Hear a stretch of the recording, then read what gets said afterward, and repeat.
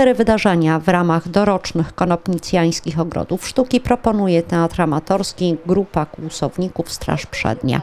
Już w najbliższą środę, 18 maja o 17.15 od zespołu szkół sióstr salezjanek ruszy marsz pod hasłem Wstańcie, chodźmy.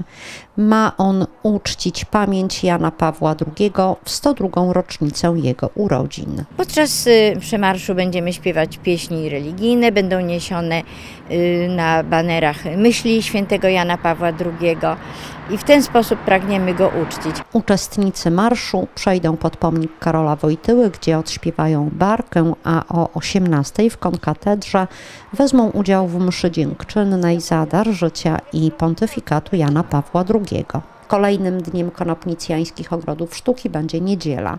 Po wieczornej mszy w konkatedrze odbędzie się w świątyni wernisaż wystawy, której tytuł wywodzi się z wiersza Marii Konopnickiej. Ja po dawnemu, moc Twoja i siła.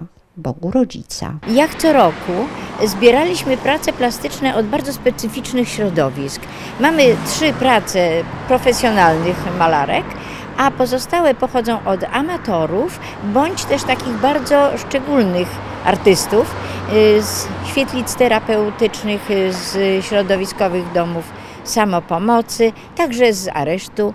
Y, są to naprawdę ciekawe prace. Wernisaż tej wystawy poprowadzi pani Grażyna Szejda, artysta plastyk, a uświetni ten wernisaż występ chóru pana, pod dyrekcją pana Ołowia, chóru Primo i jeszcze króciutka recytacja w wykonaniu naszego teatru, bowiem podkreślamy, że Maria Konopnicka naprawdę była osobą głęboko wierzącą. Jej wiersze naprawdę o tym świadczą. Zarówno Rota, jak Boga Rodzica, jak tekst Wierze, który właśnie podczas wernisażu zostanie zaprezentowany. Różnie się o niej mówi ale czasami mówi się to, co komuś wygodniej jest o niej powiedzieć. Natomiast my podkreślamy to, co jest ewidentne, jeśli chodzi o jej twórczość. 23 maja w gościnnych progach dawnego domu poetki, a dzisiaj Muzeum jej imienia, odbędą się urodziny pani Marii.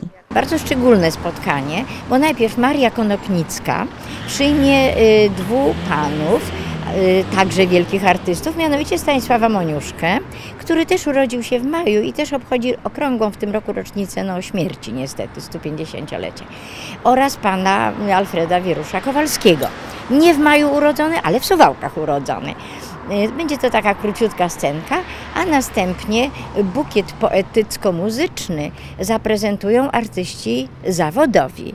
Wystąpi pani Marlena Borowska, sopran, y, akompaniować jej będzie pani Ewa Chomicz-Wysocka, natomiast recytacje, a także występy wokalne zawdzięczać będziemy panu Markowi Cichuckiemu, aktorowi urodzonemu w Suwałkach, ale y, aktorowi występującemu na scenach polskich w Łodzi, Białymstoku, a obecnie pełniącemu y, dyrektora GOKU w Raczkach.